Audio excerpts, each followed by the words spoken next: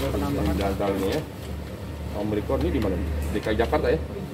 DKI Jakarta 252 ya. Yang dari kasus impor 239 kasus, transmisi lokal 13 kasus.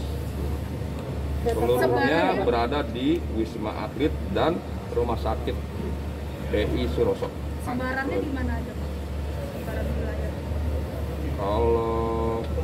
Sekarang mereka ditangani di Wisma Atlet dan Rumah Sakit PI Sulianti Saroso ya. Pak ini mayoritas pelaku perjalanan luar negeri ya Pak? Ya, betul.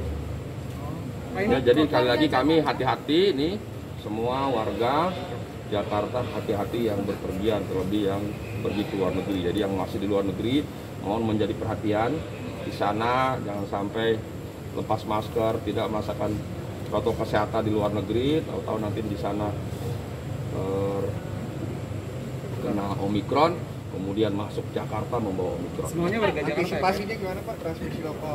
Ya, warga antisipasinya Jakarta tentu sudah disampaikan oleh pemerintah pusat, satgas pusat. Ya, pertama tentu tadi saya sampaikan harus melaksanakan protokol kesehatan, pastikan mendapatkan vaksin. Kemudian yang ketiga, semua dilakukan disinfektan, dibersihkan di mana pun lingkungan kita berada. Yang keempat, ya, yang tidak kalah penting, ya tadi yang berangkat ke kembali ke Jakarta, ya harus ada nanti eh, ada tes PCR lagi, kemudian harus dikarantina dan lain sebagainya. Ya, Pak mayoritas war- warga Jakarta atau gimana? kenapa?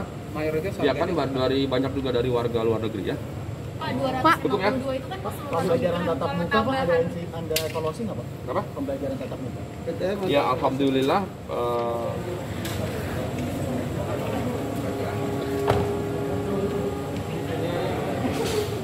Yeah, I'm not.